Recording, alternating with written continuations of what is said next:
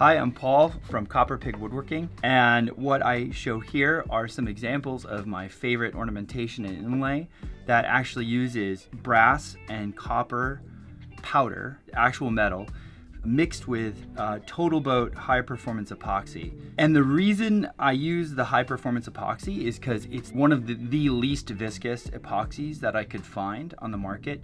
And why that's important is if it's low viscosity, it means you can add more metal powder before it gets thick because to get this metallic sheen on some of these inlays, you want to have as much metallic powder as possible. So this is a wonderful example of how you can take something like uh, like you see here, uh, like a pattern with all of these voids and flow me metal, powder, epoxy mixture into it and get it to look like real metal inlay because it is real metal. It's just in powder form.